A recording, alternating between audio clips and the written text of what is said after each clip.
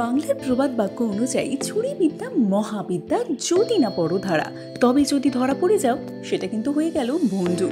যেমনটা হয়েছে অভিনেতা অঙ্কুশের ক্ষেত্রে। চুরি করতে গিয়ে একেবারে হাতে নাতে ধরা পড়েছেন তিনি তার বান্ধবী ঐন্দ্রিলা এবং তার বন্ধু পূজা বন্দ্যোপাধ্যায়ের কাছে। তবে চুরি ধরা পড়লেও বিন্দুমাত্র লজ্জা পাননি তিনি। উল্টে নিজেকে বুদ্ধিমান বলে প্রমাণ করার চেষ্টা করেছে।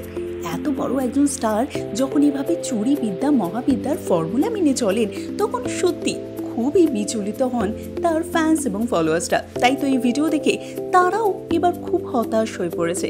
স্ক্রিনের যে হিরো তিনি যে বাস্তব জীবনের হিরো হবেন, সেটাই আশা করা যায়। কিন্তু সেটা তো হলোই না, বরং অঙ্কুশকে চিটিং করতে দেখে কিছুটা লজ্জায় পড়েছেন তার ফ্যান্সরা কি হয়েছে?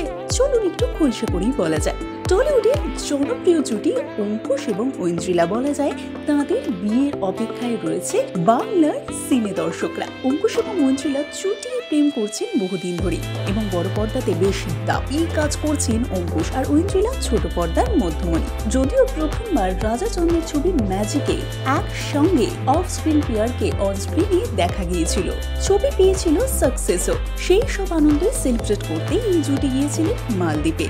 তবে ঘটনাটা কি? আসলে পূজা বন্দ্যোপাধ্যায় হলেন অঙ্কুশ এবং মঞ্জিলা খুব ভালো বন্ধু সেই পূজার বাড়িতেই গিয়েছিলেন তারা। সেখানে পূজা, তার স্বামী এবং অঙ্কুশ মঞ্জিলার মধ্যে চলছিল ক্যারামের ম্যাচ।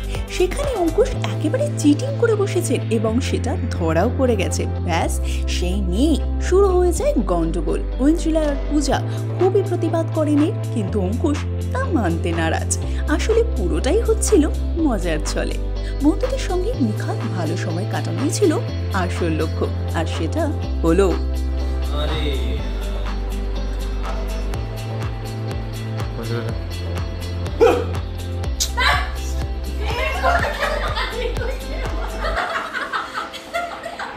আর এই নিখাত বন্ধুত্বের সময়টাকে আরও মজবুত করে তুলতে এই রকম ছোটখাটো খুনসুটি তো চলতেই থাকে। কি বলেন বন্ধুরা? আপনাদের কি মতামত? কমেন্ট করে জানিয়ে দিন আমাদের চ্যানেল এবং লাইক শেয়ার ও সাবস্ক্রাইব করতে ভুলবেন না যেন।